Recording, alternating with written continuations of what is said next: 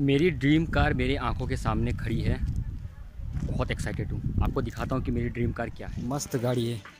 तो दोस्तों अब देखते हैं कि स्कॉर्पियो का जो ऑफिशियल वेबसाइट में जो वीडियो है उसको प्ले करके देखते हैं।